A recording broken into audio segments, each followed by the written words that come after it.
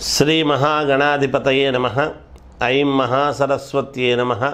శ్రీ లలితాంబికాదేవ్యే నమ. మామూలుగా మాసఫలాల కార్యక్రమములో ఈసారి జులై మాసం అంతా కూడా పన్నెండు రాసుల వాళ్ళకు అంటే ద్వాదశ రాసుల వాళ్ళకు ఎలా ఉండబోతుంది అనేటువంటి విషయాన్ని మనం ఇప్పుడు తెలుసుకుంటున్నాం. అయితే ప్రతి మాసము ఏ ఏ రాశి వాళ్ళకు ఎలా ఉంటుంది? ఎలా జరగబోతుంది? ఏమిటి? అనేది చెప్తూ ఉన్నాం. కొంతమందికి చెప్పినట్టుగా జరిగాయని కొంతమంది చెప్తున్నారు కానీ ఇంకా అలా జరగలేదే అని సగమే జరిగినాయి ఇంకా సగం జరగవలసి ఉంది అని ఇలా తెలుస్తూ ఉన్నది. అయితే ఏదైనా ముందు మనకు మనస్సు అనేటువంటిది చాలా ముఖ్యమైనటువంటి విషయము. మనోనిబ్బరం అనేటువంటిది మనిషికి చాలా అవసరం. అంటే లేదని నేను అనడం లేదు కానీ మీరు చెప్తున్నారు గురువుగారు కానీ మాకు అలా జరగడం లేదు. మరి ఎందువల్ల అనేటువంటి ఇది కూడా ఉన్నది. అయితే ఖచ్చితముగా చెప్పింది చెప్పినట్టుగా జరుగుతాయి. మామూలుగా కొంచెం అటు ఇటు కావచ్చుగాక ఈ నిమిషానికి అంటే ఈ నిమిషానికి అనే కాదు కదా.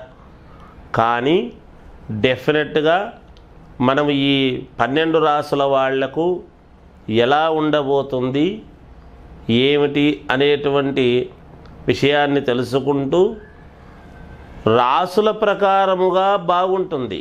కానీ వ్యక్తిగతమైనటువంటి జాతకాలలో ఏదైనా లోపాలు ఉంటే కూడా ఒక్కసారి మనము ఆత్మవిమర్శ చేసుకోవటము మన జాతకాన్ని ఒక్కసారి పునఃపరిశీలన చేసుకోవటము మనకు రెగ్యులర్గా తెలిసిన వాళ్ళ దగ్గర కావచ్చు లేదు మీకు నచ్చిన వాళ్ళ దగ్గర ఎవరి దగ్గరైనా కావచ్చుగాక మనం అది ఒక్కసారి ఎవరెవరి వ్యక్తిగత జాతకాలు వాళ్ళు గనక పునఃపరిశీలన చేసుకుంటే తప్పకుండా మీకు నూటికి నూరు శాతము ఖచ్చితముగా జరుగుతుంది గాక. ఎందుకంత ఘంటాపదంగా చెబుతున్నాము అంటే ఎప్పుడూ కూడా మనము చూసేటువంటి దృష్టిలోనే ఉంటుంది ఏదైనా కూడా. అందుకని ఒక్కసారి మీ మీ యొక్క ఇది చూసుకొని దానికి తదనుగుణంగా నడుచుకుంటున్నారు అంటే గనక ఈ ద్వాదశ రాసుల వాళ్ళకు చాలా మేలు జరుగుతుంది అని తెలియజేస్తూ వృషభ రాశి వాళ్ళకు జులై మాసమంతా కూడా ఎలా ఉండబోతుంది అనే దాని గురించి ఇప్పుడు మనం తెలుసుకుందాం. వృషభ రాశి వాళ్ళకు చాలా బాగుంది. అత్యంత అనుకూలముగా ఉన్నది. భూముల వలన బాగా కలిసొచ్చేటువంటి విధంగా ఉన్నది. అంటే కొత్తవి కొనటము కానీ భూములు అమ్మకము కానీ భూముల మీద ఆధారపడి బిజినెస్ చేసేటువంటి వాళ్ళకు చాలా యోగదాయకముగా ఉన్నది ఈ మాసము. అలాగే ఇల్లు కట్టుకోవాలి అనుకునేటువంటి వాళ్ళకు ఒక అనుకూలం ఏర్పడుతుంది. లేదా ఇల్లు కొనాలి అనుకున్న స్థలము కొనాలి అనుకున్న ఒక అనుకూలం అనేటువంటిది ఏర్పడుతుంది. వృషభ రాశి వాళ్ళు వాళ్ళకు సంబంధించినటువంటి బంధువులు కానీ ఎవరైనా కానీ విదేశాలకు వెళ్ళే యోగం ఉన్నది. లేదా వృషభ రాశి వాళ్ళే కూడా విదేశాలలో ఉండేటువంటి వాళ్ళ వలన కొంత మంచి జరగటమో మంచి మాటలు జరగటమో లేదా కొన్ని ఉపయోగకరమైనటువంటి పనులు చేసుకోవటమో ఇలాంటివి ఏవో జరుగుతాయి. బంధువుల వలన మేలు జరుగుతుంది. బంధువుల రాకపోకలు ఉంటాయి ఈ మాసంలో. కొంచెం ఆనందముగా గడపటం అనేటువంటిది జరుగుతుంది. వ్యాపారస్తులకు అత్యంత అనుకూలముగా ఉన్నది. అలాగే సినిమా రంగములో ఉండేటువంటి వాళ్ళకు అనుకూలముగా ఉన్నది.